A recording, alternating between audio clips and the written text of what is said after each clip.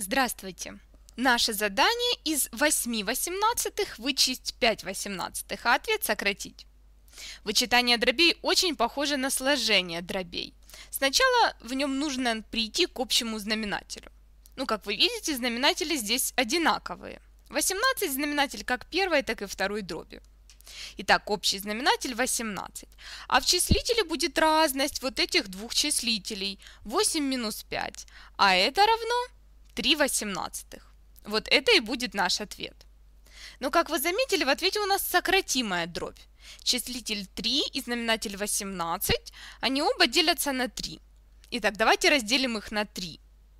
Мы делим 3 на 3 и делим 18 на 3. Итак, 3 разделить на 3 это 1, а 18 разделить на 3 это 6. Таким образом, у нас получилась дробь 1 шестая. Давайте я объясню вам наглядно. Вот давайте нарисуем 18 частей. Возможно, мой рисунок будет не очень аккуратным, но я стараюсь. Итак, разделим на 6 частей по горизонтали. Здесь у нас 1, 2, 3. И здесь тоже 1, 2, 3. И у нас вышло 6 частей. А теперь еще разделим на 3 колонки. И вот у нас получилось 18 частей. Для начала изобразим дробь 8 восемнадцатых. Для этого возьмем 8 частей из 18. 1, 2, 3, 4, 5, 6, 7, 8. Это у нас 8 восемнадцатых. А теперь нам надо вычесть 5 восемнадцатых. Значит, мы вычитаем 1, 2, 3, 4, 5 частей. Сколько частей осталось? Осталось 3 части из 18.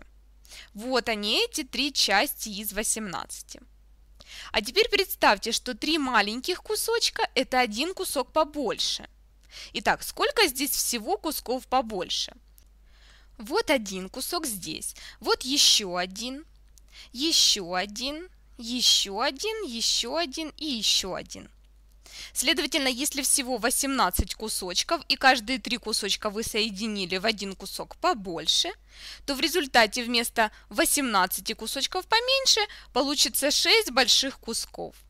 Как вы видите, каждый ряд здесь это кусок побольше. Часть, закрашенная синим цветом, это один из шести больших кусков. Таким образом, 3 восемнадцатых – это то же самое, что и 1 шестая.